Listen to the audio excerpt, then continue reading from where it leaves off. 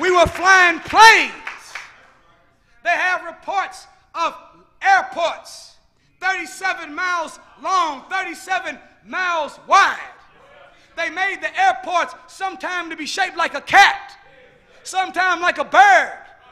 And people that were looking at them just thought that this was art. But they were hiding wisdom from the wicked white man. They made them look like animals so that they would not know that they were landing the objects. Y'all not hearing what I'm saying?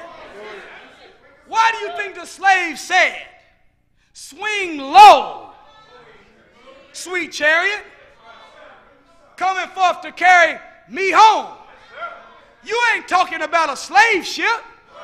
Slave ships float. But if you're asking something to swing low, it has to be flying high. So, 3,000 years ago, located 700 miles south of Cairo and the Giza Plateau, at a place called Abydos, there's written on the ceiling beams of the New Kingdom Temple. Y'all ain't with me. Carved in stone, images of flying contraptions. Y'all can't see them from there, but you get the DVD and we'll zoom in on them for you. Here you see a picture of a helicopter. Y'all not seeing it. There you see a submarine. Here you see an airplane. Y'all with me? Then I got to go back to the other page because it's something that they didn't talk about.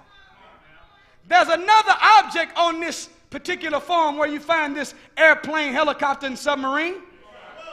And it is a acorn shaped object. Did, did y'all hear me?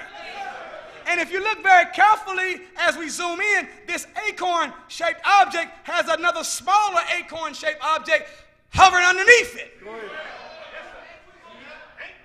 Y'all call them UFOs.